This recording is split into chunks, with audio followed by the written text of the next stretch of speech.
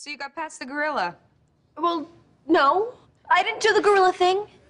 But I used the bathroom there. Sitting down? I might have hovered. Ha! I am a risk taker. Don't tell me, tell the gorilla. Why don't you tell my butt?